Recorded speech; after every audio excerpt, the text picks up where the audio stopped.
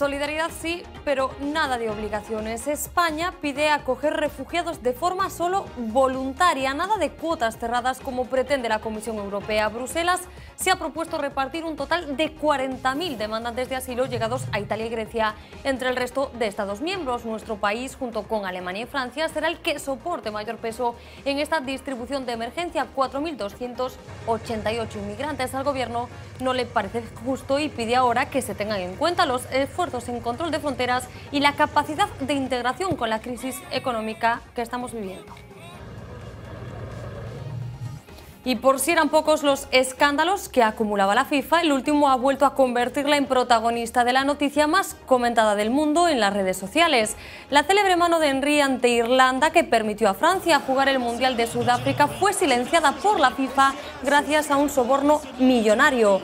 El presidente de la Federación Irlandesa ha reconocido que cobró unos 5 millones de euros del organismo internacional, el precio para no denunciar este gol ilegal. Eso sí, dice que el soborno no se lo quedó él, sino que fue a parar a la federación. Eso de los aeropuertos sin aviones no es solo cosa de España. En Grecia, el antiguo aeródromo de Atenas, en plena línea de costa, lleva más de una década abandonado. Ahora el gobierno ha decidido convertirlo en un vertedero, crear allí una planta de gestión de residuos. La polémica no ha tardado en estallar, sobre todo porque las instalaciones ya habían sido cedidas por el Ejecutivo anterior a una empresa que preveía la construcción de viviendas y hoteles de lujo y uno de los mayores parques de Europa.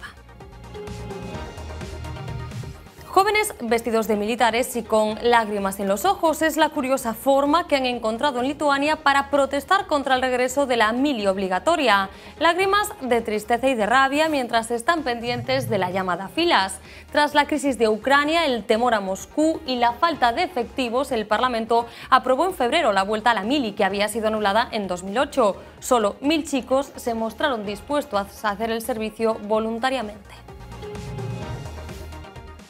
La banda británica Placebo desafía a Marruecos en favor de los derechos de los homosexuales en un concierto en Rabat. El bajista Stefan Ozdal se desnudó de cintura para abajo, de cintura para arriba, perdón, para mostrar el torso y mostrar la cifra 489 tachada con una cruz, algo que no ha sentado nada bien. El 489 hace referencia al artículo de la ley marroquí que impone penas de hasta tres años de cárcel para quien mantenga relaciones con personas del mismo sexo. Olsdal, gay y con novio español, también lució en su bajo la bandera del arco iris y el mismo número tachado en la parte de atrás.